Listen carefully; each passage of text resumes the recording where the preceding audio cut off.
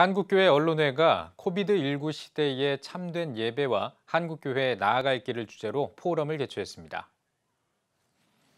인사말을 전한 최성애 이사장은 오늘 포럼이 성경, 신학적 바탕 위에 교회의 전통적 가치를 지키고 도전적인 변화 요구와 환경 속에서 새로운 복음적 가치를 실현하는 자리가 되길 바란다고 전했습니다.